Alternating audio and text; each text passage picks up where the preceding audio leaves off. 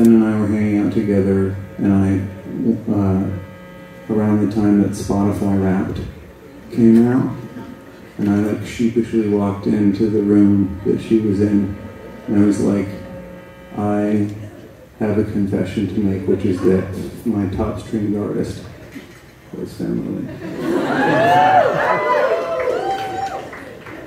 And my second top stringed artist was Christian Lee